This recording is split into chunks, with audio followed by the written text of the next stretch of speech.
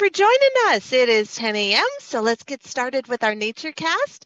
Um, NatureCast, we've expanded it so we are looking at much broader topic than some of our earlier NatureCasts. We're excited to not only look at local topics and state topics, but we'll also expand out to regional and some of the more global topics, such as conservation that we're talking about today, using some of our wonderful Florida examples.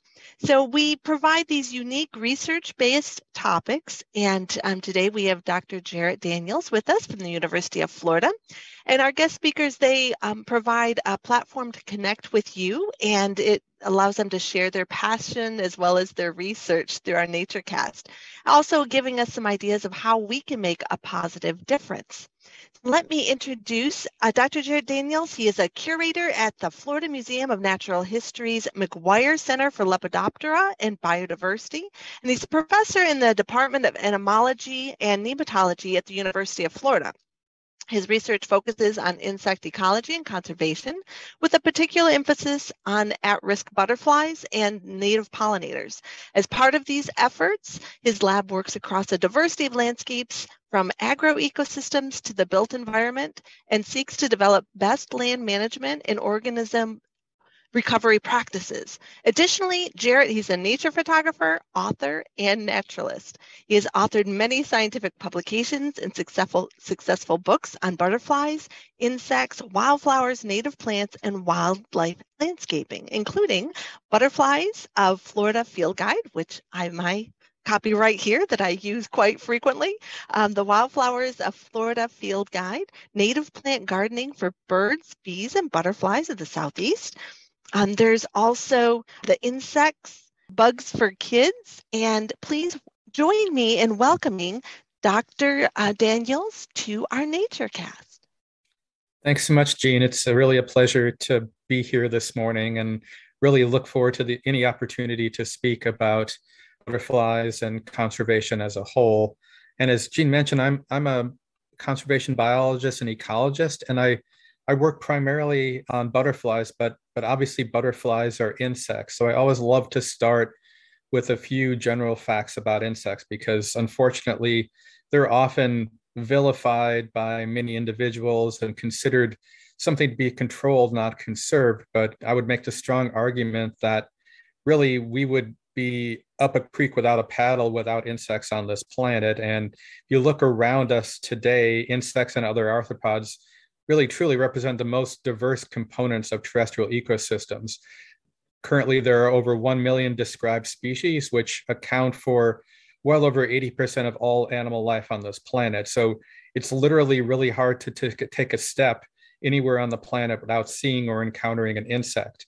And I love this particular kind of factoid, and that is at any given time on planet Earth, there's an estimated 10 quintillion individual insects alive. And that's a number that's really hard to fathom. That gets into sort of the realm of the cosmos when it comes to uh, uh, just uncomprehensible figures. But that's a tremendous amount of insects alive on the planet at any given time.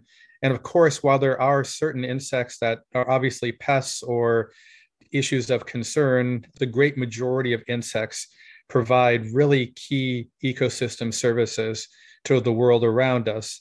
And of course, these are beneficial insects that pro- provide services ranging from pollination, natural pest control, nutrient recycling, decomposition, food for other wildlife. And so, if you're a birder, as an example, and you love inviting songbirds into your landscape, the food that they provide their young during the year are dominantly insects. So we rely on these creatures for the functionality, the stability, and really the productivity of natural systems, our food production systems. So again, we would be in, in deep challenges without insects on this planet. And if you drill down just into the service of pollination, of course, we know that many insects, butterflies included, deliver the service of pollination to wild plants as well as many, many crop species. And Florida is an agro um, uh, agricultural uh, kind of dominant state where agriculture just behind tourism is really the leading entity for productivity, economy, uh, and job production in the state of Florida. So obviously, butterflies, moths, bees, flies, beetles, and wasps are just among some of the insects that deliver the service of pollination. And across the globe, about 87.5% of all flowering plants, uh, including many crop species, rely on animals, dominantly insects, to move pollen from one flower to another uh, to set seed and produce fruit. And so, literally, the productivity, the diversity of the plant community that you see around us, we owe to insects. And also, the food on our tables, the price of that food, uh, the quality of that food, again, um, and really the stability of those food production systems. We rely a lot on insects delivering that service. And butterflies are always and have always been kind of the signature group of organisms because they are really one of the key insect groups that we want to invite into our home landscapes. They do not provide any real serious pest issues. They don't have any real serious concerns uh, providing harm to the general public and they're incredibly charismatic. And so they are really sort of the flying flowers out there of the insect world. And this slide shows our state butterfly of Florida, the zebra longwing or zebra heliconian. So they are really kind of that charismatic uh, kind of microfauna that we want to uh, invite into our home landscapes and and really develop out spaces that will help conserve them long term. And across the globe, there are about 18,000 species of butterflies within the United States, north of Mexico, about 750 species of butterflies, and within Florida proper, about 190 species of butterflies. So Florida is the most diverse state east of the Mississippi when it comes to butterfly, the number of butterfly species. So it's a great place to garden for butterflies, a great place to watch butterflies. And the reason that that number, 190 species, is a little bit fluid is the fact that Florida is a very long state. We kind of are at the confluence of more temperate species to the north and more tropical species to the south. And due to the proximity of the Caribbean, we often get many tropical strays uh, or even seasonal colonists into South Florida, as an example. So that number from year to year vacillates a little bit. But again, a large number of species to take advantage of within Florida and an incredibly diverse state north to south when it comes to uh, species that uh, you you really can't see in many other places in the U.S.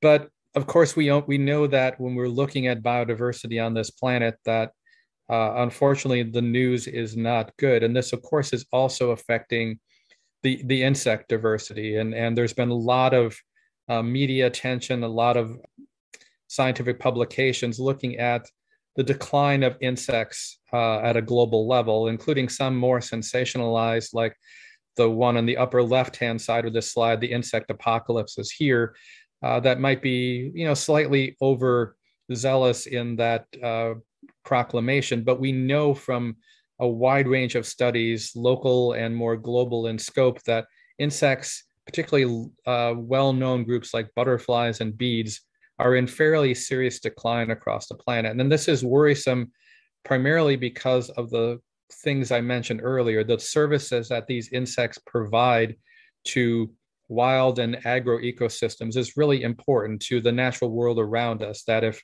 insects fell off the face of the earth tomorrow, we would be in really dire straits. And so it's really essential that we develop strategies to ensure that the future of this planet includes robust, diverse systems that can support uh, a, a, great diversity and richness of insects, including butterflies. And my lab works, uh, as Jeanne mentioned, across many landscapes. We work in agricultural landscapes because obviously insects and pollinators are of economic importance for food security and crop production. We work into suburban urban landscapes and also wild landscapes and even systems that you might not consider to be important for conservation, such as roadsides or utility transmission easements. But kind of the, the mantra from, from my lab over the last several years has really been that in we know that insects are declining in wild systems and conservation systems. And so in order to make up that ground, we really have an opportunity and a need to look across all systems. How do we manage uh, and conserve insects everywhere humans occupy, you know, in your backyard, in farmland, uh, as you go to work along roadsides. All these are viable landscapes that can support insects, including butterflies, and, and ultimately also connect people more effectively to the natural world. And so no longer are these landscapes considered outside the purview of conservation. We have an opportunity and really um, a goal, a commitment that we have to improve these landscapes for wildlife. And butterflies and other insects are great to do that with because they're small, they don't require a lot of space, and even small spaces can support a great diversity of organisms. And as I mentioned, butterflies are a great opportunity to bring that nature uh, home to your own uh, individual property and landscape. But even in the state of Florida, of course, we know that biodiversity is declining. If you drive along I-75 at any time, you know that you know the the world around us is changing. It's developing. We're losing habitat at a fairly sizable rate. And if you look at just one example from South Florida, over the last decade or so, these are three taxa, three species of butterflies that are no longer present in the state of Florida. Two of them have actually been declared extinct by the U.S. Fish and Wildlife Service, the Rockland grass skipper and the zestos skipper, and the Ammon blue, the little butterfly on the far left-hand side of the slide. There have no, been no recent records of this butterfly within Florida for the past 15 years or so. So these are extinction level events that have occurred without really any media fanfare. They're happening under our noses. And this, of course, is something that as a conservation biologist, we, we want to ensure doesn't happen to other critical insect species and other butterfly species that we hold dear. But this is the world that we're fighting against and trying to ensure that butterflies and other insects are secure and actually making a reverse curve and ensuring that their populations are actually growing and not declining over time. So a great deal of what my lab does in collaboration with many, many other talented individuals and stakeholders is really developing kind of plans and putting plans in place to look at how do we take species that are declining and reverse that curve so that over time we can manage appropriately we can develop you know science driven conservation and management practices that will hopefully help ensure that these species are going to be around for you know many many years to come. And so we we do this in many ways. We work with partners. We develop out detailed plans we try to publish on uh, developing improved standards for best practices within conservation. And unlike large mammals and plants, even uh, the world of insect conservation is still fairly new. So we're, we're learning as we go. And our goal really is to, you know, develop out the science of insect conservation and ensure that we have strong plans in place so that even if we fail with one organism, we'll learn through those mistakes so that we can enhance the success of the conservation of the next butterfly that comes along that needs help.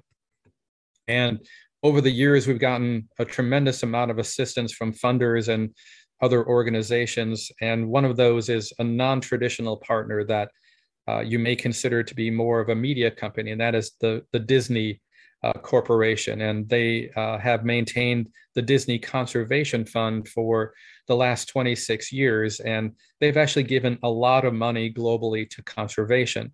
However, about eight years ago, they decided to take a slight turn and provide deep funding for 10 organism groups around the planet. These were high need, high charismatic groups, uh, and luckily they included butterflies in that list and so the University of Florida, including my lab, was able to secure funding from them along with sea turtles to the University of Florida. And Disney really took a, a, long view on this. They understand that conservation does not happen overnight, it takes time to be successful.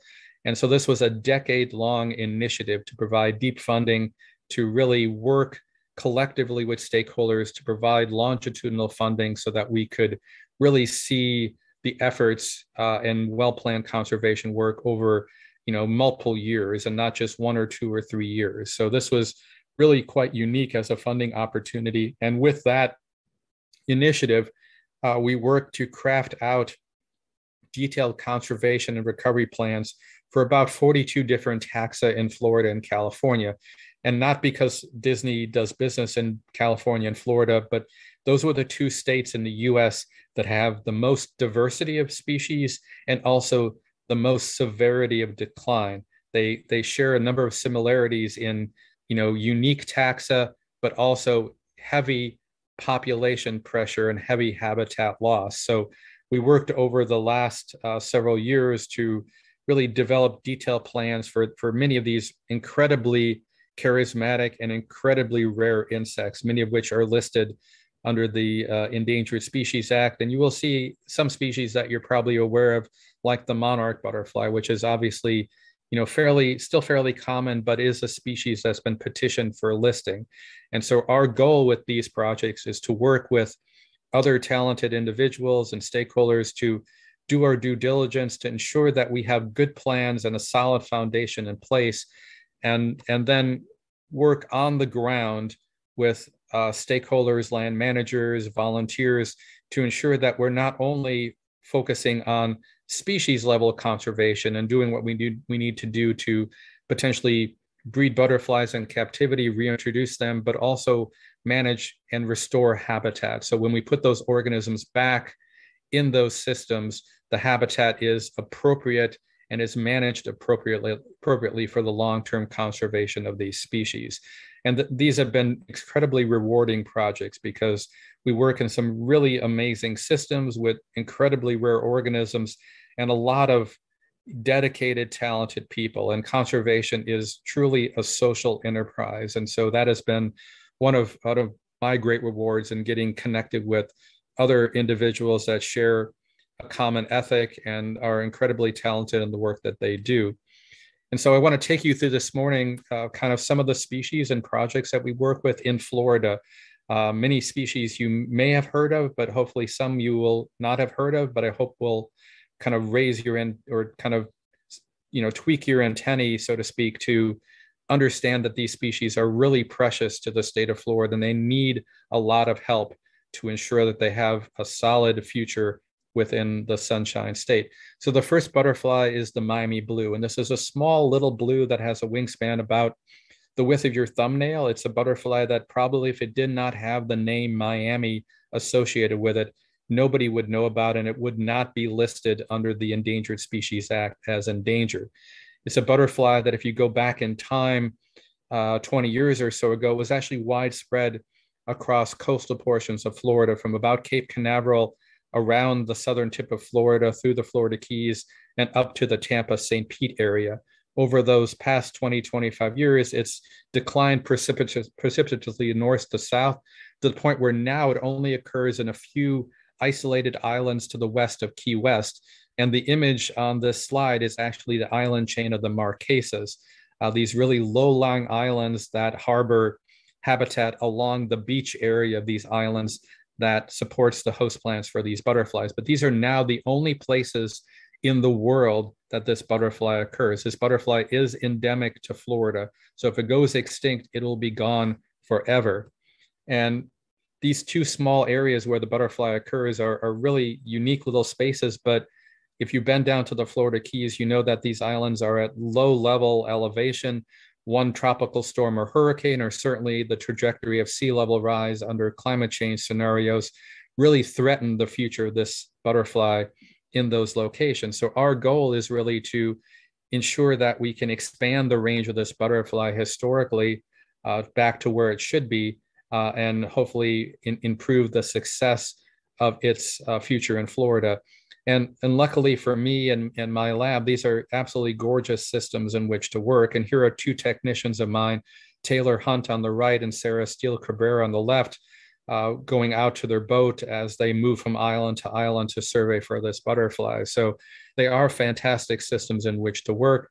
And this is sort of the habitat of the butterfly and what it looks like, kind of a coastal berm system where two species of leguminous plants, Florida Keys blackbead and gray nickerbean, which are the two host plants for the butterfly, occur.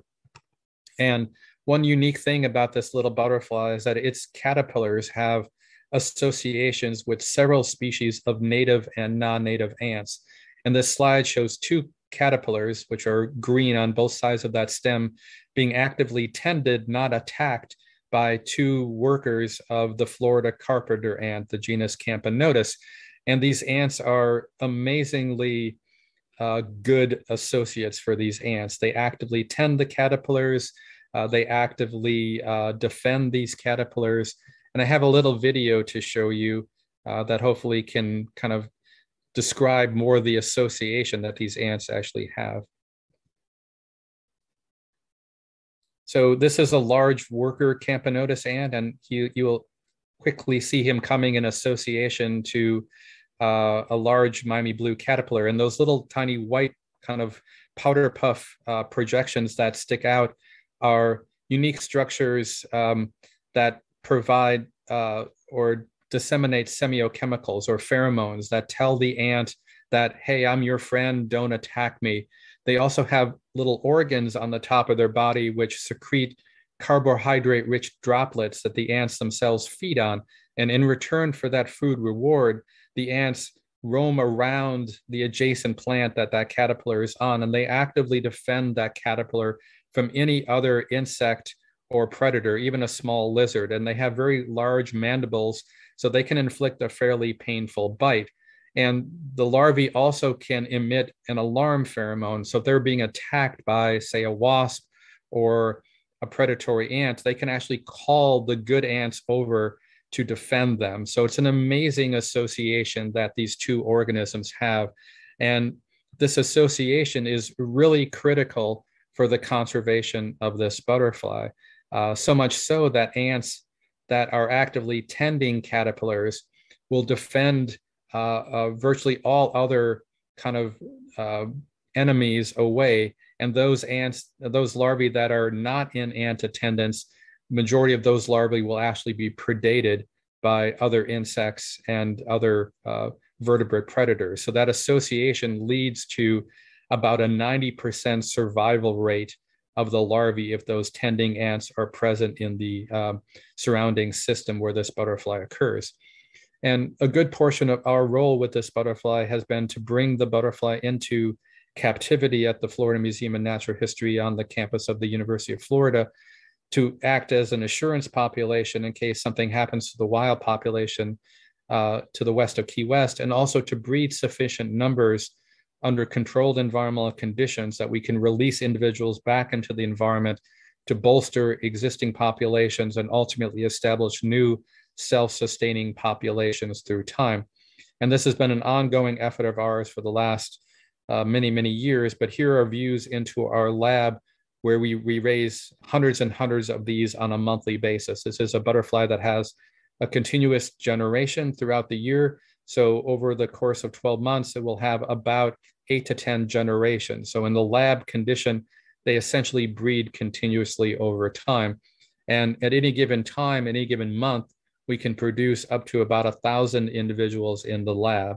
Just this past April, the month ago, we produced over 1,600 individuals in captivity and released over 1,100 individuals back into the wild. So it's been a really signature program of ours and a very, very successful program over time.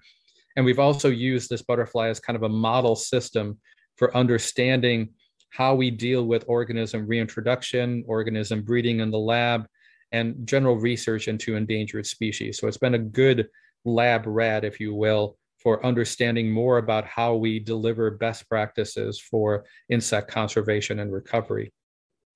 And so once those individuals are produced in our lab, we take them down to the Florida Keys or other areas where we have targeted releases. And we try to also experimentally look at these questions. We, we try to look at, for example, what life stage is most appropriate to release these individuals back into the environment and collect a lot of data so that we can inform the system. So it might turn out that adults and pupae might be more effective at establishing populations than, say, releasing caterpillars back into the wild. And here you see these little PVC containers, each of which include a little mesh piece of metal at the top and mesh at the bottom to allow rainfall to pass through, but not allow a vertebrate predator such as a small mouse or a lizard to crawl into that tube to predate the pupae that are at the base of uh, that little tube. And then uh, the holes at the top are wide enough that once those pupae emerge and adult butterflies uh, have spread their wings, they can actually escape those tubes without any human assistance and fly away into the surrounding system. And each one of these tubes can be deployed in the field. It can be geo-referenced and geo and uh, geo-tagged, and we can go back and actually look at the success of which pupae successfully emerged, which pupae died, which pupae were predated, and it gives us a lot of data to understand the success of our efforts ultimately. And we also have developed larger uh, mechanisms to release a lot of pupae at one time uh, and deploy these actually hanging from trees in different areas in the environment. We also have done comparative studies looking at releasing larvae and also releasing adult butterflies in these habitats. And again, our goal is to try to move the field of insect conservation work forward and always try to experimentally test assumptions in the field so that we again can determine you know as an example what particular practice delivers the best chance of success in the field and where possible we also try to do this in a way that can educate the public so here are a couple people from my lab at that picnic table and the little cage has several hundred Miami blue butterflies. And this was a release we did at Bahia Honda State Park earlier this spring. And in the course of that release with uh, the Florida Department of uh, Environmental Protection, we uh, amassed this crowd of tourists that came to Bahia Honda, obviously for beaches, not for butterflies. And they really enjoyed and actually filmed the release of the butterflies at Bahia Honda. So uh, where possible, some of these uh, sort of outreach activities can be very, very organic on the ground.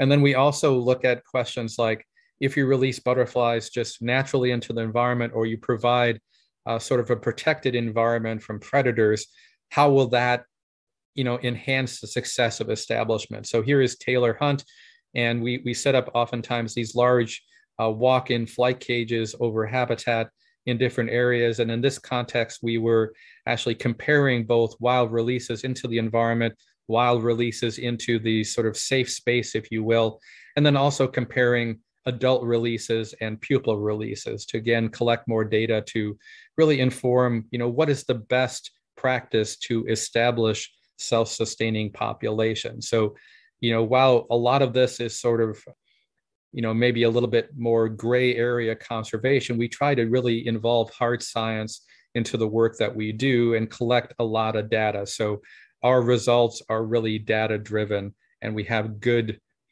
you know ability to say something worked and why it worked or something failed and why it failed because that's the kind of holy grail of conservation and informing uh, the system and why something worked or why something failed and learning from those lessons and then we, we also work with other partners such as Fairchild Tropical Botanical Garden. And in, in this slide, you see on the left-hand side, the state of Florida and all these little numbered sites. And so these were all potential release sites for this butterfly. And you can imagine that while we may be able to do the eye test walking out into the field and saying, well, that, that habitat looks good for this butterfly, that's not good enough. We want to have a lot of data saying, we're comparing site A to site B, and site A, by the data we collect, is actually a much better potential release site than site B. And so for each of these 27 locations, we collected a lot of on the ground field data comparing site to site, looking at host plant density, looking at nectar availability, looking at things such as, you know, logistics in order to get to those sites. And you might not consider that to be very important, but if a site exists on an island and you have to take a boat to that site, it's very difficult to visit. It's very difficult to do monitoring of those populations long term. So all these different criteria feed into our system and our kind of matrix when we actually compare one site to another. And this gives us a rating scale that's data driven to say, okay, these top five sites are really the top five sites for targeting for organism reintroduction. And here is the data to back that up. And so you can see on this slide some of the metrics that we use and the data that we collect to really compare those sites over time. And this gives us a really strong level of confidence that the sites that we're putting the butterflies back in have the best chance of actually yielding and sustaining populations in the long term. And then we can segue to another butterfly, a much larger butterfly, and this is Schaus's swallowtail. This is a butterfly that maybe some of you have heard of, and this is the only federally listed swallowtail butterfly in the United States. It occurs only in South Florida.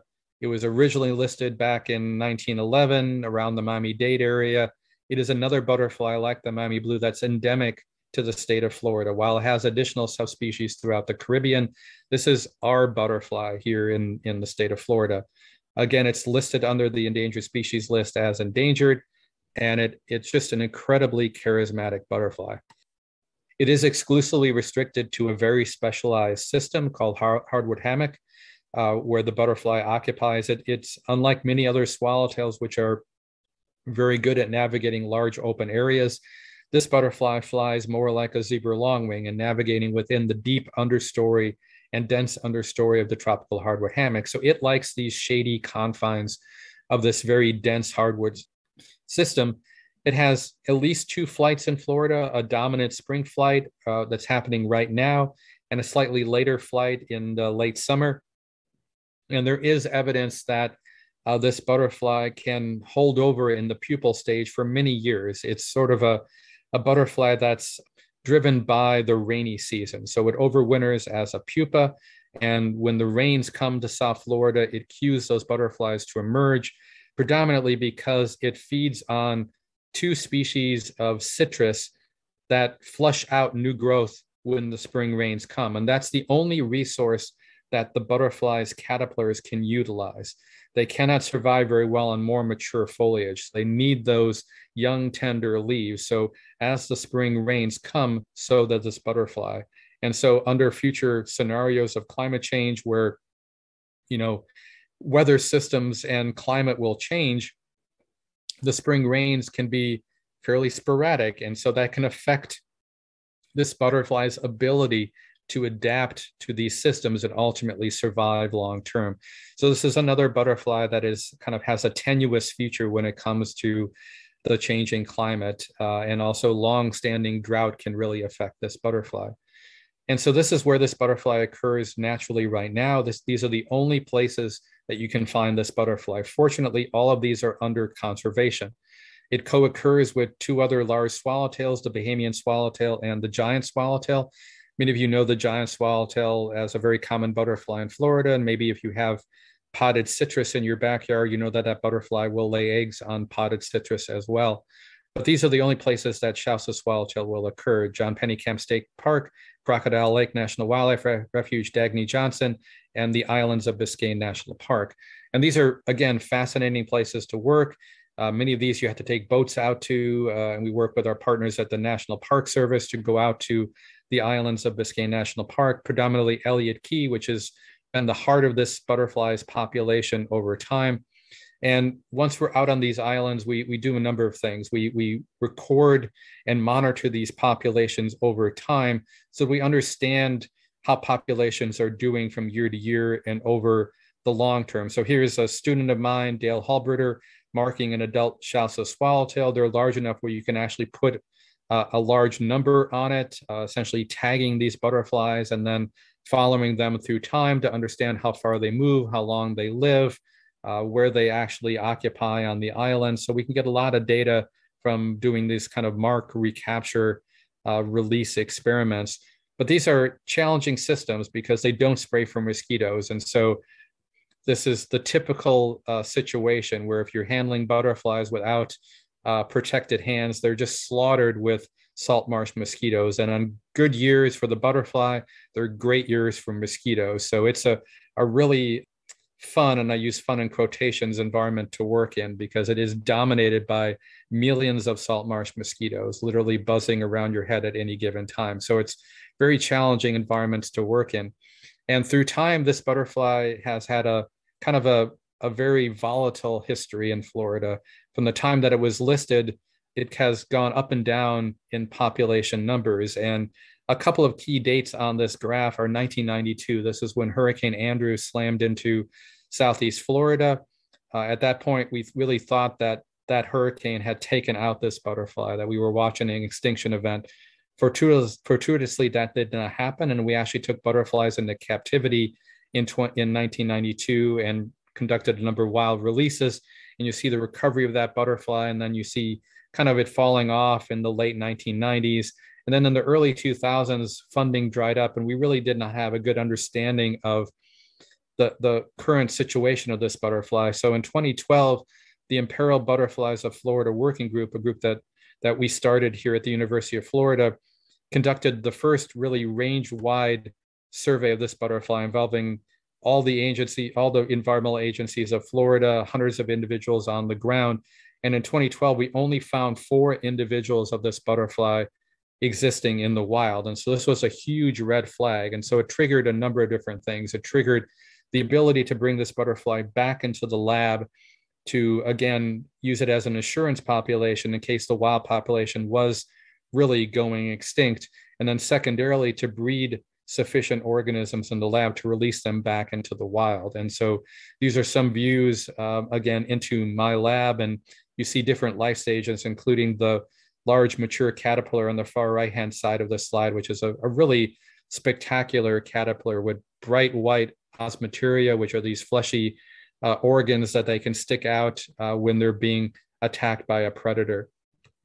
And again, it's a really fantastic butterfly and just a little bit of video here to show you uh, into our um, screen enclosures and greenhouses here where the butterflies are flying and mating and laying eggs. It's a it's a great butterfly to have in captivity because it can maneuver well within the dense understory of that tropical hardwood hammock habitat. It adapts really well to captivity and can occupy even small spaces and be quite productive.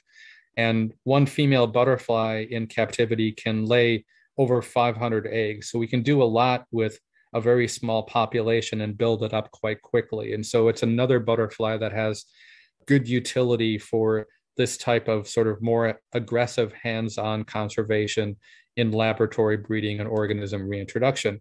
And then those organisms that we produce in captivity are slated for wild release. And here is Matthew Standridge from my lab releasing a second instar caterpillar uh, out into the wild using uh, a camel hair paintbrush and gently uh, coaxing that caterpillar onto the terminal growth of sea torchwood, its host plant. We also try to involve our stakeholders uh, and land managers into these releases when possible. So on the left-hand side of the slide is one of our partners with the National Park Service releasing an adult butterfly the far right hand pictures show myself with several people from US Fish and Wildlife and Florida Department of Environmental Protection releasing both adult butterflies and mature caterpillars into the field on northern Key Largo. And we also use or deploy community scientists to help us with the survey work of this butterfly. And this has been a really rewarding and successful project because it has involved a lot of highly dedicated community volunteers that are just remarkable butterflyers that go into these dense hardwood hammock systems with thousands of mosquitoes, mosquito jackets on, at times of Florida where it's hotter than Hades and humidity and the rainfall is happening every day. These are not like going to a beach environment. This is dense hammock environment where um, going out in the field is not a fun exercise. And so we rely on them uh, extensively to collect data on the health of these populations and also help us monitor the post release populations when we put organisms back into the wild. And so they're essential to the work that we do. And so it's it's just another kind of example that conservation requires a community of individuals to make it happen.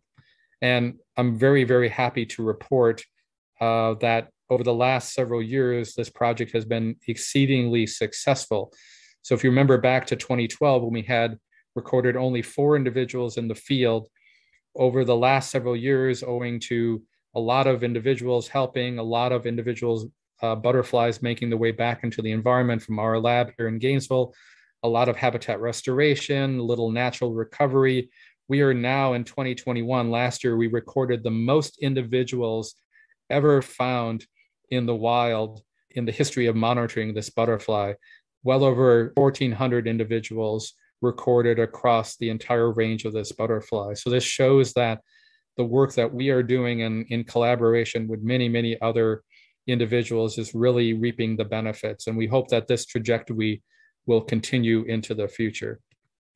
So, again, a record number of 1,700 individuals recorded uh, in 2021. And we hope that the conditions this year uh, will continue to expand that population number. And I'm also really happy that this butterfly will also be featured in the Nat America's National Park Series uh, by the National Geographic Society uh, later this year. So they're filming the um, Biscayne National Park as part of that series, and they're telling the terrestrial story of Biscayne National Park through the eyes of Schaus's swallowtail. So you'll be able to see our conservation work and really some fantastic footage of this butterfly through this series that will be launched, I believe, on Disney Plus, uh, hopefully later this year. And then, as part of this effort, in addition to restoring the organism itself, we've been working with Fairchild Tropical Botanical Garden in propagating its host plant, which is sea torchwood, uh, and providing those seedlings to other land managers and other agencies to outplant these, to build back habitat, to restore habitat, to expand uh, potential future areas where this butterfly can either naturally expand to or we can reintroduce organisms to into the future. So this has been, a, again, a very successful collaboration uh, with Fairchild in South Florida. And then another effort that we have with this butterfly is as part of the approved draft recovery plan, it calls for the establishment of new self-sustaining populations within the historic range of this butterfly that currently are sites that do not have the butterfly today. And so one of these is Lignum Key Botanical State Park in the lower Florida Keys. And we started releasing individuals here in 2020 and continued those efforts in 2021, putting back adult butterflies, larvae, and pupae with the Florida Park Service and other community volunteers. And I'm very, very happy to say that in our efforts of putting individuals back in the field, we actually have now sort of seen uh, the benefits of that exercise. We recorded individuals last year in 2021 from the previous year's releases.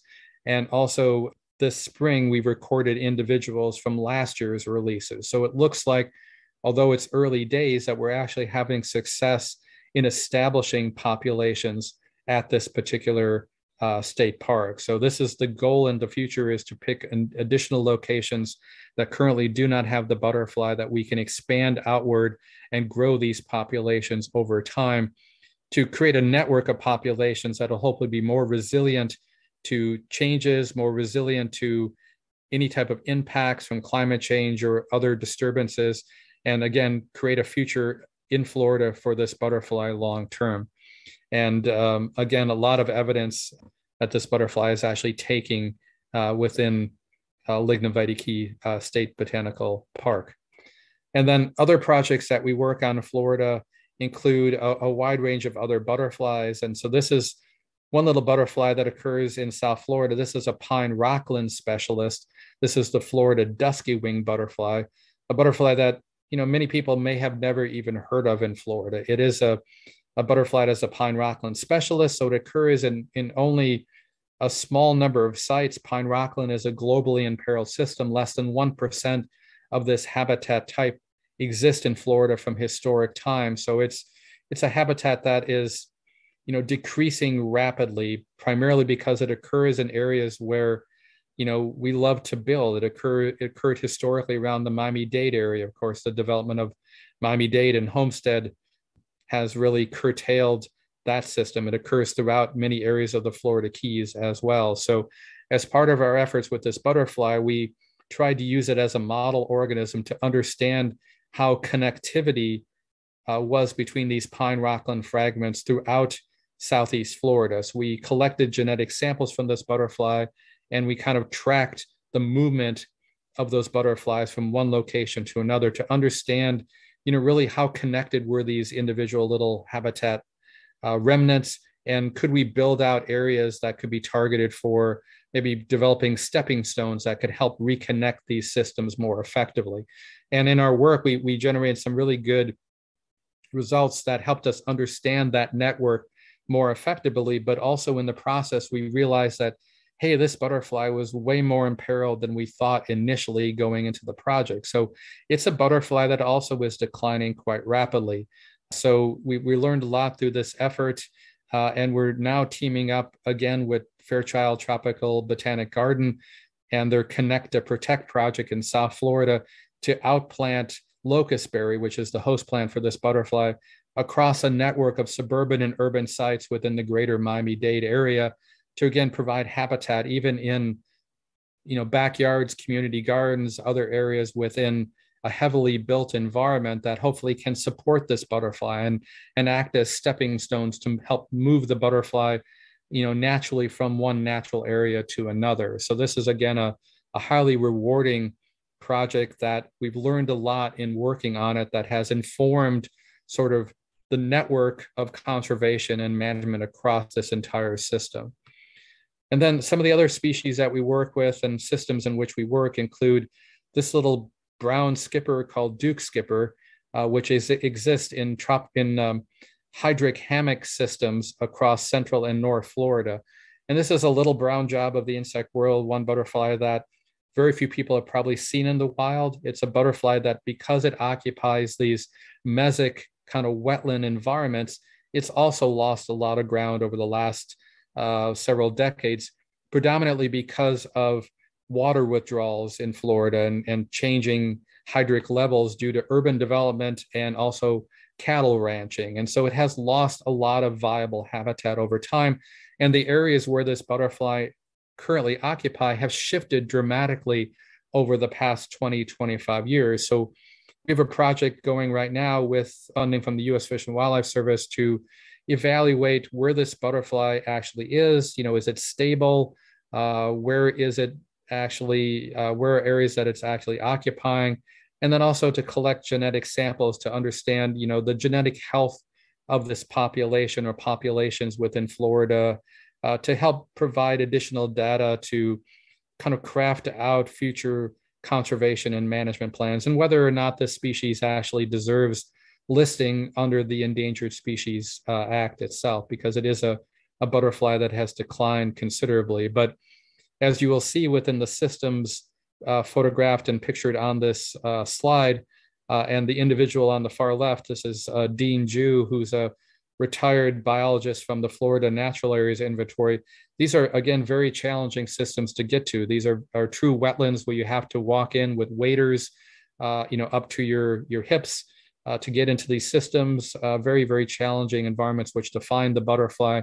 So you might consider butterfly work to be, you know, open area, kind of sunny, a lot of flowers, easy to get to. That's that's not the case in many areas of Florida. So many of these systems are quite challenging in which to work. And then another butterfly that's also a little brown job. This is the Palatka skipper or sawgrass skipper because it feeds on sawgrass.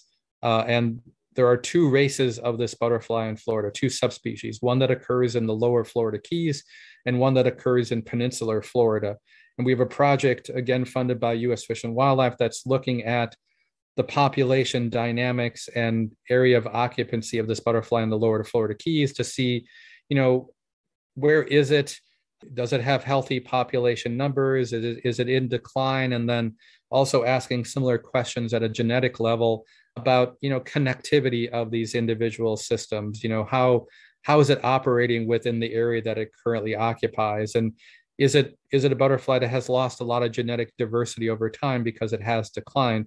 And then also comparing it to the uh, population within mainland florida are they really truly the same subspecies? Are they different species entirely? How how much have they diverged over time through isolation or are they actually connected to one another through the island chain of the florida keys? So we're asking a lot of questions that have broad ramifications to conservation and to future management. And again, these are not particularly great systems in which to work. These are coastal, um, you know, marshes. They're they're difficult in which to get to, and the butterfly itself exists in fairly low low numbers. You may spend thousands of hours in the field and only see one or two individuals. So it's it's hard to collect a lot of data from these really rare organisms because there just are not that many of them out there uh, to survey. And so it's a challenging system and organism in which to work as well. And then other kind of really interesting butterflies and with which we work include this little brown butterfly called the frosted elfin. And so if any of you um, have moved down to Florida from the Northeast or Midwest, this is a butterfly that across uh, you know New York and New Hampshire and Wisconsin and Minnesota co-occurs with the Karner blue butterfly, which is a federally listed butterfly, uh, and it actually extends down throughout much of eastern North America into North Florida. But it's a butterfly that's being petitioned for listing and is under evaluation for listing as endangered under the Endangered Species Act. And because it occurs down to Florida, those are the kind of southern terminus of this population. And they're quite unique populations. And if you look at kind of future resiliency due to climate change, these are really important populations. And in Florida, they occupy these sort of sandhill and pineland locations around Apalachicola National Forest and other locations. And so it's a butterfly that occupies these really cool, unique uh, imperiled systems as well. It feeds on sundial lupin. And so we have a large project funded by the US Fish and Wildlife Service to look at the range wide population genetics of this butterfly to inform not only listing, but really, you know, do some of these individual populations harbor really unique genetic material that might be critical to conserve to enable kind of future evolutionary potential and resiliency of this butterfly. And so we work with partners in North Florida to uh, do a lot of the sampling for this butterfly. And through the process, we also develop new techniques for sampling. Particularly, we're always interested in understanding how can we push the needle when it comes to non-destructive sampling. So historically, you would collect a specimen, grind that specimen up, extract the DNA for any type of genetic uh, projects. Well, obviously, if this butterfly or any butterfly is endangered or incredibly imperiled, you want to conserve the organism. You, you want to do little harm to the organism. And so even the potential of taking a leg for genetic sampling enables you or necessitates that you capture that organism. And there's always a chance for something happening that could injure the organism the process. So through this project, we actually looked at another way of non-destructive sampling, which included collecting hatched eggs in the field and using the chorion, the shell of that egg, to get enough DNA out of that in- individual egg to have the high quality genetic material to ask those sort of population level questions. And this was really very successful. So this shows that even in the work that we're doing, we're trying to push the envelope into developing techniques that could inform not only this butterfly's conservation, but be techniques that could be broadly used across many other different species that could really help ensure that we do little harm or no harm to the populations we want to study uh, uh, itself. And then um, sort of the last species I'm going to talk about today is, is of course, the monarch. And so this is a, a butterfly that's well known by the general public. It's a butterfly that is, in many ways, the best known insect in North America uh, and kind of the icon for insect conservation. It's gained a lot of attention. It's generated a lot of tension as well for pollinator conservation, for just insect conservation as a whole for across agencies across the general public and so it's also been a butterfly that over the last 25 years or 30 years has shown steep declines in both the western and eastern population and has actually been petitioned for listing as threatened under the US Endangered Species Act. And in Florida, Florida is a very unique state in a lot of ways, and it has, in many ways, a unique series of monarch populations that have unique stories that add to that kind of broader conservation perspective. And so we we try to focus on the Florida-based populations uh, through through my lab's work. And Florida, as an example, has a Southeast Florida population which is non-migratory. It's the only non-migratory population of monarch butterflies in the uh, continental U.S. So it has really unique um, elements of this kind of national level population, if you will. And one of the kind of questions that we really have is if you look at the state of Florida, we, we also know that uh, through long-term monitoring in Florida that monarch populations are declining pretty much at pace with, with the national level. We've seen about an 80% decline over the last 25 years, uh, predominantly due to loss of breeding habitat and other you know, environmental changes. And in Florida, there are several species of milkweed. There are actually 21 species of milkweed. Not all of them are great hosts for the monarch, but a few are, are really key hosts. And one of them is pictured on this slide. This is sandhill milkweed. This is Asclepias humistrata.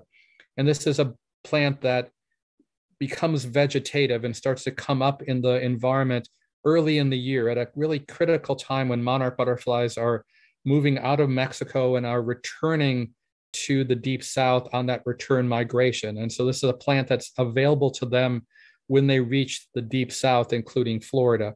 And because of that, it sort of is the sentinel kind of key indicator that kind of ensures that monarchs have resources. And as that spring generation goes, so does much of the East Coast uh, return migration and repopulation of that broader area as well. So Florida is a key state when it comes to the return migration of the monarch. And because sandhill in Florida is a dwindled habitat, it's it's it's a habitat that that deserves conservation and has been fragmented and reduced in scope significantly over time, where we tend to find a lot of populations of this milkweed are in non-traditional conservation areas along roadways, along power line easements, in pastures, any area that has consistent disturbance that might mimic fire because it's a fire dominated plant. So we were curious in asking the question how important are Florida roadways when it comes to supporting this plant and ultimately the monarch? So we worked in a funded project with the Department of Transportation to survey all FDOT maintained roadways in North Florida from Ocala north to Jacksonville and over to Tallahassee. And on this map, the areas outlined, the roadways outlined in blue, have pretty good populations of this particular milkweed species. The areas highlighted in red have ultra high density populations of milkweed. So if you're the Department of Transportation and you want to help conserve the monarch, these are kind of targeted areas where you might consider reducing mowing at a time when monarchs are coming back into Florida and ensuring that these populations of milkweed can set seed effectively so they don't become sink populations over time. They don't dwindle over time because the mowers just keep cutting the blossoms off and don't allow these plants to go to seed. And as you can see by the picture in the lower right-hand side on the slide, these plants are widely used by the monarch. They support a lot of monarch breeding. So these roadway populations are really critical. And because roadways are mowed regularly, they do mimic that disturbance from fire. And we're seeing that milkweed populations were actually declining from conservation lands because of potentially the inability to burn as frequently as necessary. So roadways are becoming increasingly important for milkweed and monarch conservation within Florida. And as part of these efforts in association with the Department of Transportation, we're also looking for novel ways of involving technology to monitor these roadside populations. So we started a new project this spring using artificial intelligence and deep learning and drones to fly along roadways to capture uh, these images of milkweed populations to see if we could you know use and deploy this technology in a more effective way that would not be the traditional boots on the ground monitoring to capture landscape level data to use machine learning to understand are these populations increasing decreasing or remaining stable over time? And i think this is a, a really exciting trajectory to conservation and technology and marrying those two ultimate disciplines. And so we're, we're still um, collecting data, but I think it's very, very promising that drones and machine learning will be able to not only detect plants along roadways, but actually give us a lot of data to say, you know, how management along these roadsides is affecting these populations of milkweeds long term. And then another project we have with the Department of Transportation is looking at building breeding habitat for the monarch. So if you drive along any Florida roadway, you might often look off into the distance and see a retention basin, a stormwater retention basin. They might be dry or they might be wet. but they're they're deployed across you know all Florida roadways. And traditionally, these are just sort of waste areas. They don't really serve much purpose outside of stormwater management. But these are really opportunities for rebuilding habitat because they're always going to be managed. They're always going to be maintained. Uh, and in many areas, they have deep slopes, which you know might be uh, in need of some help for erosion. So we have a project looking at revegetating these retention basins and outplanting species of milkweed to support monarch conservation and many other native blooming plants that will build out not only butterfly habitat, but pollinator habitat. And the nice thing about these compared to roadsides is they don't have the same management or safety constraints as roadsides. So they really are sort of a tabula rasa when it comes to an opportunity for conservation. And the other benefit is they are all along Florida roadways. So they're like pearls in a necklace to connect habitat uh, across vast areas of Florida and beyond. So we're exploring this project looking at, you know, really outplanting, you know, thousands and thousands of plants um, into these areas and recording not only the success of the plant establishment, but also the use of the monarch butterfly of these habitat systems. And so this is an ongoing project that, again, has been very rewarding. And we've got really good collaborators with the Department of Transportation and others. But it's also feeding into this broad national initiative called the Monarch Candidate Conservation Agreement with assurances that transportation and energy providers enter into uh, preliminarily to the monarch being potentially listed under the Endangered Species Act. So, as part of this agreement, uh, the Department of Transportation here in Florida has to be good citizens and actually set aside or manage landscape that they uh, have under their pur- purview a percentage of that appropriately for the monarch and monarch conservation. So this can help them accomplish those kind of longitudinal goals uh, by creating more monarch breeding habitat and more monarch nectar habitat. And then uh, just a few last minute things before I end uh, today, and that is just a few other initiatives that we have at the University of Florida that are related to insect conservation and butterfly conservation overall. And one of them uh, is looking at the development of a wildlife friendly plant certification program. Right now, if you go to a big box store um, and you buy a plant, you, you really have no idea per se. Is it, a, is it a good plant for butterflies? Is it a bad plant for butterflies? Or is it safe for butterfly larval consumption? And this has reared its ugly head with the occurrence of tropical milkweed, which is uh, really the most commonly commercial available milkweed for monarchs. But it's a non native to Florida and it's commercially produced.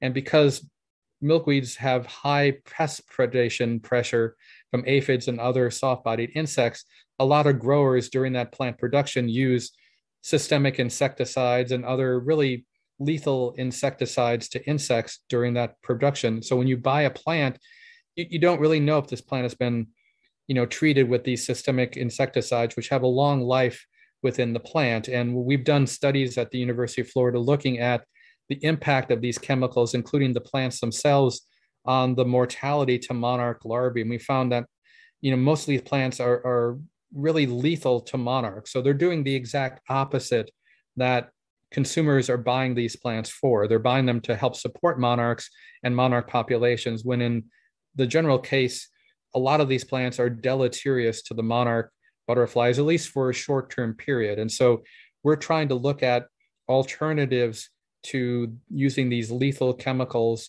in plant production that can provide growers with efficacious pest control, but provide some level of consistency and confidence that when you go buy a plant, it's going to be safe for the organisms you actually want to attract. And then also evaluating the attractiveness of these plants overall so that if you went to a big box store you might be able to say well okay these are the top five plants that are available and the data show that if you want to attract butterflies these are the five plants that you need to buy and they're safe for the organisms you want to attract. So this is a long-term project that we have ongoing and we've we've uh, we've learned a lot in the process so far but the goal ultimately is to provide you know kind of this certificate of authenticity as you will that you know a consumer can go and buy a plant with confidence knowing that it's safe and it's been highly rated for the organisms that uh, you want to attract. And then as part of my lab too, we, we often try to do a lot of uh, engagement with the general public and other stakeholders because we are the University of Florida and the Florida Museum as a whole. We have a broader mission for educating the public and you know interacting with the public and insects and butterflies particularly are great for that because people love butterflies so it's a great tool if you will to engender public support for conservation and so if you come to the Florida Museum of Natural History and you can actually see the workings of my lab through these open windows. Um, so our lab is visible to 200,000 annual visitors every day of the year except for Christmas, uh, Christmas Eve and Thanksgiving. You can see these butterflies being propagated in our lab during many times of the year. Uh, so it's a great opportunity to learn. And we, we also create programming. Uh, we create a lot of products, including coloring books, uh, brochures, signage in the wild, uh, to educate the public about the work that we do. And we also have entered into a really unique collaboration, uh, which is one I'm actually quite proud of with the craft brewing industry. So we create butterfly beers that are themed for the butterfly species on which we work. And for many of these, uh, they've been wonderfully successful. And each time we brew a beer, we try to actually push the envelope even further. So if you remember back to my mention of the frosted elfin butterfly. We did a beer two years ago with that butterfly, and we try to either include an element of the habitat or a thematic thread of the host plant or something with the beer. And for that butterfly, we actually went into the field and we swabbed the adult butterflies to collect uh, yeast from the butterflies themselves and use that in the brewing process. And so the beer was essentially populated, if you will, by the yeast from the butterfly itself. So these are these have been wonderfully successful programs to generate money that goes directly to conservation and also reaches a different audience than sort of comes directly to the Florida Museum of Natural History. So it's been it's been really fun and and uh, exciting over the years, and we have a new initiative currently for a national beer released uh, surrounding the conservation of the monarch. And the initiative is called Restore the Reign of the Monarch, and the beer itself is called Reign. It's an imperial stout. And much like many of the other beers that have come out for social causes, we are providing the beer recipe and all the graphic uh, content for the labels. And we're trying to get craft breweries around uh, the nation, including in Canada and Mexico, to sign up. And we'll give them all that information, the recipe itself. And we ask that if they sign up, they provide back 25% of the proceeds. And we've teamed up with the Xerces Society for Invertebrate Conservation to outplant uh, monarch habitat across the nation in support of monarch butterfly conservation. So our goal is really kind of better insect conservation through beer uh, and making it a social enterprise and really planting back out over a million stems of monarch of, of milkweed in support of the monarch. So if you have a craft brewery near you or interested in this, you can go to the Florida Museum's website. You can, uh, you know, connect to your craft brewing uh, in your neighborhood and, and encourage them to sign up to be a participant in this initiative. I think most craft breweries love social and environmental causes. It's a great initiative, and we want as many craft breweries signed up as we can possibly get. So anything all of you can do to help that process, I would be really grateful. And then lastly, just a little bit of self promotion. As Jeanne mentioned, I'm, I'm an author as well. And so my goal also as a scientist is to make butterfly conservation, landscaping for wildlife, the world of insects accessible to everyone, families, adults, and children. So I, I take a lot of pride in producing uh, books and other information that can be broadly digested by a broad audience. And so these are just some of the publications that I've produced over the years. And, you know, scientific publications are great, but they reach a very narrow audience. And so my goal is to ensure that the future of the insect world has a bright future. And the best way of doing that is to introduce people. Yes, sorry, sorry, I, I somehow lost internet connection. I apologize. I don't know what happened. No problem. So you were um, wrapping it up about the conservation using beer, and um, I think that's about when we lost you. Well, I just, I just, uh, that was really the last slide. I just wanted to thank my my lab and all the funders and collaborators, and just you know again emphasize that the projects that I showed are, are really a team effort. It's conservation is a is a collaboration, obviously. So it's um, just very fortunate to to work with um, amazing people and uh, amazing partners. Well, thank you. Um, people really enjoyed uh, hearing your message, and we were talking when you were um, joining us again about how it's wonderful hearing just some of the positive things that are happening, and and that you're having some you know real success in in getting a some more population um, a sturdier population a more stable population out there. One of our questions was um, is there a certain number that you're looking at? And does that depend on the species the individual species before you do determine that you know it's a more stable self um, sustaining population?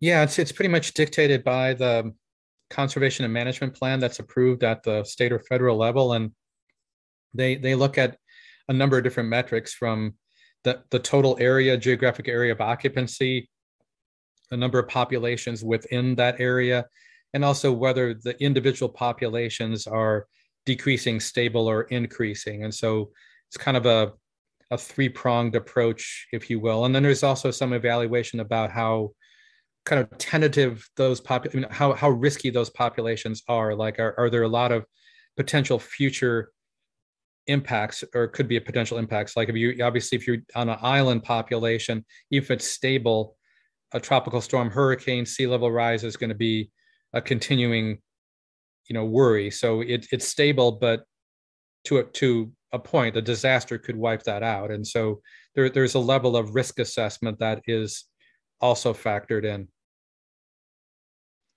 Absolutely. And are there any of them that are just in like one spot now that that is a huge concern? Or are there some that are are they all a little more scattered so hopefully it's not going to you know like a hurricane or a tropical storm's not going to just wipe them all out? Yeah there there are there are several that are sort of um, very tenuous. So one one butterfly i did not talk about is the florida leafwing which is another endemic butterfly that's listed as endangered it only now has one population in a small area of Everglades National Park. So it is probably the most imperiled butterfly in Florida. And it's in a fire dominated system. It's a large butterfly, it needs a little more space. So the future for that butterfly is very tenuous. And then the Miami blue, which I talked about, um, you know, it's still the only existing wild populations. Of course, we're trying to change that, are still within the islands of the Marquesas and Boca Grande to the west of Key West. And so those are very tenuous, right? Because of a, you know, the forecast like this year for increased hurricane activity and intensity of storms. So those could be uh, truly wiped out with one event. Uh, and then certainly the future with, with sea level rise. So, you know, the those face a lot of future, current and future threats. And so we're, we're the goal of our work is to try to spread that risk out as far as possible. And have thinking about sea level rise and has there been discussions about pulling populations from one spot, taking them to another, pros and cons of that? There, there certainly there have been, and in assisted migration, uh, and that concept is is still somewhat controversial. Um, I think there's been more discussion about, you know, as an example, I mentioned the sawgrass skipper or Pilatka skipper. Well, that's a butterfly that we're trying to understand what that entity actually is through some genetic work. And so if it turns out that the populations that occur in the lower keys have really unique alleles within that population or some genetic component that is going to be important to capture and so it might mean not necessarily moving individuals northward but how do we how do we capture that diversity that enables future adaptive potential for the butterfly. And so that might mean, you know, if they're pretty closely related, might be crossing those populations, you know, or ensuring that there's more connectivity so that those that diversity is not lost through time. Mm-hmm. Um, of course, uh, there was a lot of excitement about the ant and the Miami Blue Butterfly Association. So that um, got a lot of interest. Uh, what what is the type of ant? What is the kind of ant that does that? So, the, so the the the one pictured is the uh, Florida carpenter ant. There's there's two species within that genus, the genus Camponotus. But these are the same carpenter ants that you might have in your yard or if you've had any pest issues in your house. They're a large ant and they're one of the more common tenders of that butterfly in South Florida. But we found through our research and in the field that there are probably a range of about 13 different ant species, some native, some non-native, that will will actively tend uh, that butterfly. But because the carpenter ant is large uh, and fairly common, it, it's a really good partner for the Miami blue because it can defend that caterpillar really well. It has it's a large ant; it can protect the ant the, the larva quite quite easily. And where we found populations of Miami blue doing well, the ant populations are also doing well. So there, there is, you know, and from the, some of the research that one of my graduate students did that really showed that that protective benefit is really significant. We, we really do feel that that association in the field is is necessary for any place that we put the butterfly back into. And in one of the photos you had, uh, it was a collage, and you had um, syringes with kind of an orangey substance. What was that? So that's that's that was Gatorade. So you know, so when you breed butterflies in large numbers in a laboratory setting, we we don't have the luxury of bringing real flowers into the lab, and so what we found is a really great method is we we use outdoor fly cages to get butterflies to mate. We bring those females into the lab. We set them up in very small containers because females they get stimulated to lay eggs in a so you know in contact with the host plant. So you can confine them on the host you can get a lot of productivity but because they you can't put flowers into that cup we use uh, q-tips with that are hydrated with an artificial nectar which in our context is gatorade. And that's not because we're the university of florida we have to use gatorade but we actually evaluated the different types of artificial nectar. And it turns out that Gatorade, particularly melon flavored Gatorade, works exceptionally well and it adds to the longevity of the butterfly and the butterfly that can lay eggs and they can feed when they want in that cup, which reduces our labor and it increases, like I said, the longevity and the productivity. So in the wild, a Miami blue adult butterfly might live on average three and a half days.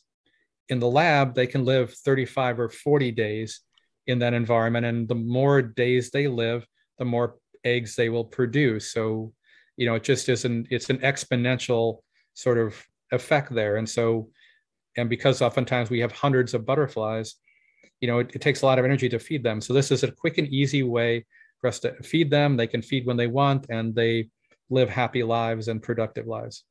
So you put from a syringe the melon flavored Gatorade onto a Q-tip? Mm-hmm. And yeah, then we, we, they feed yeah, from the Q-tip. Yeah, we inject the the tip of the syringe goes into the the cotton and just soaks that, and then that lasts for you know several hours, and the adult butterflies can feed on their own. So it's it's really easy to go through and replenish the the nectar, the artificial nectar that way, and gives gives a great opportunity for them to feed when they want. And then you don't have to handle the butterfly. You don't have to do anything that might put the butterfly at harm. So I used to work somewhere that occasionally we would get in shipments uh, for of butterflies because the location also hosted weddings and we would provide that um, melon flavored um, Gatorade to them. What what is the current thought about bringing in butterflies and then releasing them? Because I've I've read that there could be concerns about like diseases being spread. Of course, releasing non-natives if they're not from that area. What what have you found? What are your thoughts about that? Well, I, I um so I'll say a couple of things on that. So those two points that you made are, are, are valid. We, we don't want to, you know, you know, right now, if you have an event, you can purchase butterflies from a butterfly farm in Florida, but you do have to realize that, okay, the South Florida butterfly community is very different than the North Florida butterfly community. So if you if you release a species that really lives in South Florida in the Jacksonville area, you know, you're doing that butterfly disservice. It might not have a resource to you know to thrive. And you're also mucking up the science because if we go out there and we monitor and you know right now through like iNaturalist we use those data to understand where where species occur how that changes over time. So if you get a record from the jacksonville area of south florida butterfly you don't know is that a natural record? Is that been blown in by a hurricane? Or is that an artifact of releases from an event? And then the other thing i'll say is that uh, i'm i'm certainly against anything that makes living things a commodity. Uh, you know, we, we, we, we should be good stewards of the environment, and that means caring for the organisms as well. And so if you, you buy butterflies for an event release, do you have the expertise to keep those butterflies safe? And are, are we really using butterflies as just like throwing rice in the air? Is that that's mm-hmm. that's probably not the best thing to do for the organism. So I, I would be generally strongly against those type of releases. I just don't think they I think they they send a bad message overall. Mm-hmm. Yeah, I was able to get them away from releasing the white peace doves because hawks were going and picking them off as it, they were it, being exactly. released. so yeah, yeah and, absolutely. And you know, and and also you know, if you don't care for the butterflies before you do something like that, it can lead to, you know, death on the butterfly side and disappointment on the on the human side. So it's just, I think you know, throw right throw throw throw something environmentally appropriate not rice, you know. bird seed, if you must. Yeah, bird, yeah, bird seed, obviously. I mean, not and, not rice. Yeah, and pelt the bride and groom with something. Um, we had a question about tagging of the Miami blue butterflies. Do the adults get tagged? Because you had the kind of the temporary tagging for the the pupae. What about the adults? Do they ever get tagged? They, they do, and so we we do use mark recapture um, to track individuals and also to denote those individuals that are released from the lab versus potentially produced in the wild. So that you can again write a, a small number on the underside of the hind wing uh, without harming the butterfly at all. And it can actually be visible from quite a, a distance away especially if you're using binoculars. And the people of the community, the general folks shouldn't be going out and snatching out butterflies and writing numbers on them with sharpies. No, right? no, not no, not at all. Yeah, this is you know this is um, sort of targeted research where we're trying to understand some question like you know um, how long are they living how far they move you know something something else so it's not just a fun exercise it actually you know generates meaningful data exactly and then the butterflies that are in you know most people's yards what can we do to help them? Um, put in host plants? Yeah that's a great question. So um, you know at any given location in Florida, reliably, an average person could, again, this varies depending on where you are and how much land you have around you, but roughly there are about 70 species at any given location in Florida that are around that general area. That doesn't mean you're going to attract all of them, but there's still a lot that you can attract. And so, in order to make your yard or your landscape more butterfly friendly, I, I, I would sort of argue sort of four things. One is you know minimize the pesticides that you use in your yard because butterflies are insects and they're going to be affected by direct application or drift maximize the floral resources butterflies are flower visitors so start with the flowers first and then once you know the butterflies that are found in your area that reliably come to your yard then you can tailor the host plants to the butterfly species you actually know are there. If you try to reverse engineer that and say, well, I'm planting the host plant for this butterfly, that butterfly may never visit your yard. It might not even be in your area. So you probably are going to be disappointed. And then the last thing, through some of the work that, that we've done in suburban landscapes, which has been pretty interesting, is that we found that the three things that really drive insects coming to your yard are the number of species of blooming plants that you have, the total amount of bloom that you have, and then the evenness of the community that you have. And so what that means is that instead of taking the kid in the candy store approach and buying, say, one of a hundred different species, pick pick like 10 good flowering plant species and maximize the number of those plants in your yard, kind of creating drifts of color. And, and I think the reason that that modulates the other effects and really kind of synergizes that is butterflies and other insects are visual when they search the environment. They're like they're like us. They're drawn to waves of color, and so that'll be much more design driven, appropriate for our eyes, and and will actually attract more insects if you kind of create clusters of color or drifts of color in your landscape. Absolutely. And we find that too in hummingbirds, trying to attract hummingbirds. You, you cluster, you have the, yep. the reds and oranges, and absolutely. Um, and then for that milkweed, like the the tropical milkweed, the the um, one that has the orange and the the red and all, are you recommending that people not use that at this time? That's that's a hard recommendation because it's the most commercially available, and people are still having trouble finding native milkweeds. I would certainly recommend using native milkweeds if people can find it. Uh, and so, you know, definitely visit your local native nurseries, your specialty nurseries. You know, go to plant sales from the Native Plant Society. You know, when you go to a nursery, they don't have it. Tell them they should carry it. I mean, it's kind of the chicken and the egg as well. And then you know if you can't find native then i'm not saying it's a horrible plant but it, it does three things potentially that are damaging to the monarch one is it it, it harbor you know if it's grown commercially it, it probably has been has been treated with chemicals which we don't really know how long these chemicals reside in the plant and it depends on how much were added to the plant what kind of cocktail of chemicals were used in production uh, and the situation in the plant how the plant was grown so that that's a, a negative, right? And so if you if you do have to buy that plant, start it from seed where you know it's not going to be loaded with chemicals. Buy it from a reliable source, maybe a specialty nursery that touts, you know, not using harmful chemicals. Uh, you know, always ask if it's been treated. If you if you can't find out if it's been treated, use the eye test. You know, do you see any munching on the leaves? If you don't see that, I would avoid it. Uh, the other two things that that plant does that are potentially negative is it potentially can disrupt the monarch migration in Florida. Uh, there's been really nice study by Sonia Altizer at the, at the University of Georgia, which showed that when monarchs that are migrating southward, when they encounter that plant, they will fall out of migration and lay eggs on that plant. And that can disrupt that migration through the deep south. And it also can promote winter breeding along the Gulf Coast. And we, we all want butterflies in our yard year round, but you got to think what's biologically appropriate for the organism.